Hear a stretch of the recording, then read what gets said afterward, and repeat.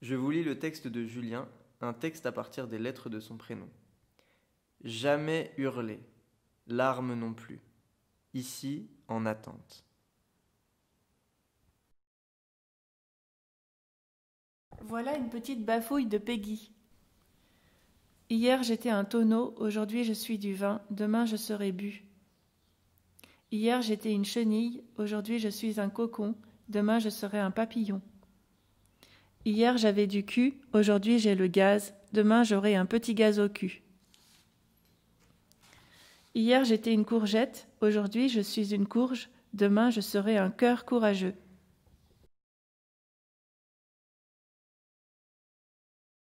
Toi, mon maillot Adidas, tu es tellement confortable. Ta couleur bleu-blanc-rouge me rappelle l'équipe de France de rugby.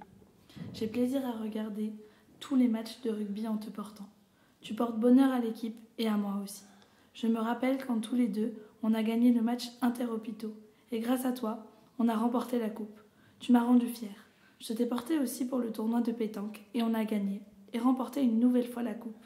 C'est mon neveu Ethan qui t'a offert à moi, le 9 avril 2024, pour mon anniversaire.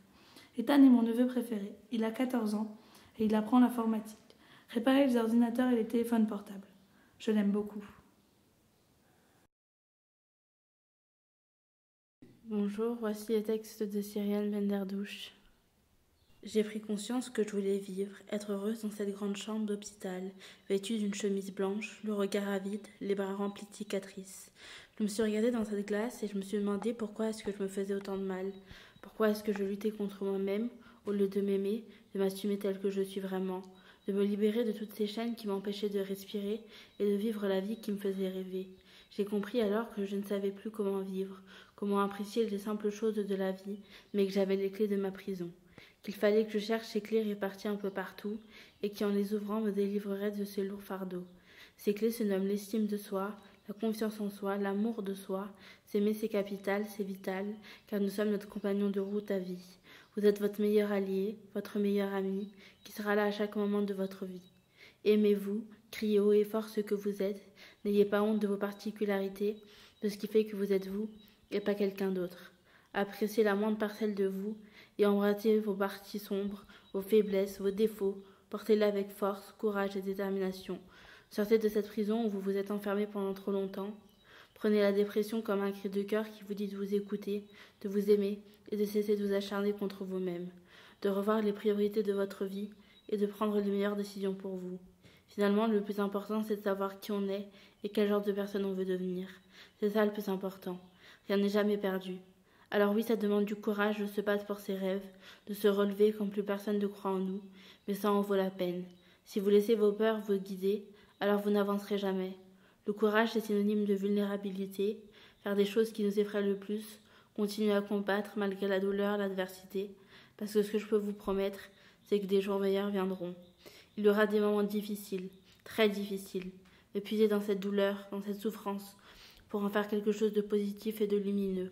Rappelez-vous toujours que pour atteindre vos rêves, le chemin est rempli d'embûches, d'échecs, de déceptions, mais si vous n'abandonnez jamais, et que vous continuez à vous accrocher de toute votre force, ça finira par payer.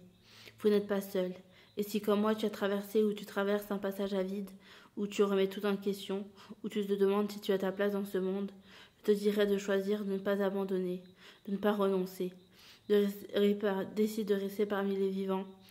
Peut-être qu'aujourd'hui tu souffres, que tu t'en désespéré, incompris. Ferme les yeux, prends une grande inspiration, imagine-toi vivre la vie qui t'inspire. Ressens-le au plus profond de toi et ne perds pas de vue ces images qui te rendent si heureux. Et quand tu sens que tu es rempli de désespoir, que tu as envie d'abandonner la partie, rappelle-toi de ces images et décide de te battre. N'hésite pas à demander de l'aide, tu n'es pas obligé de traverser ça tout seul. Tu trouveras autour de toi des gens bienveillants qui seront prêts à t'écouter et à traverser avec toi cette période difficile. Crois-moi, beaucoup de personnes seront tristes par ta disparition si tu décides de passer à l'acte, car malgré ce que tu peux croire, ta vie compte.